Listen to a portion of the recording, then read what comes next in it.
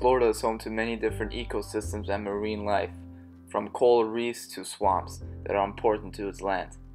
Sanibel has one of the most important ecosystems known as the mangrove forest located at the Ding Darling National Wildlife Refuge.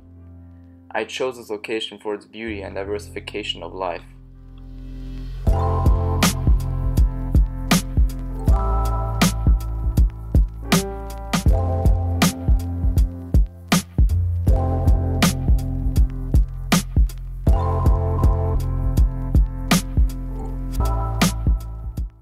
There are a variety of different plants such as poison ivy and the Virginia creeper.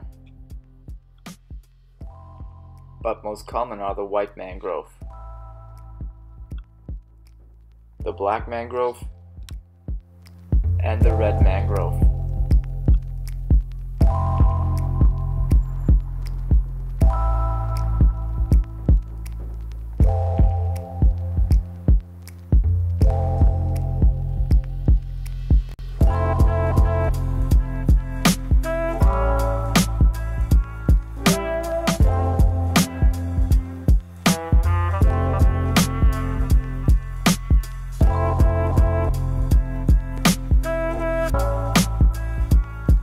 They are important to subtropical and tropical ecosystems and serve as a home to many different species such as crabs and a huge variety of birds.